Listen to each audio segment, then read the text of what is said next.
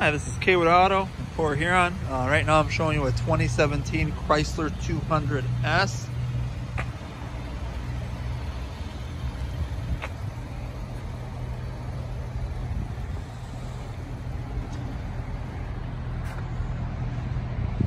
Does have the rear parking sensors. This is going to be an all-wheel drive. This beautiful gray color. Has a little over 101,000 miles on it. Has Beats audio. Power driver seat. Um, has leather interior with the panoramic moonroof as well. Seats are going to be heated.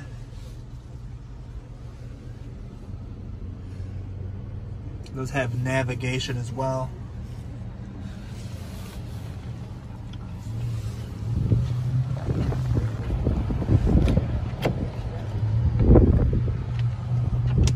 Uh, for two USB ports here for your back as well.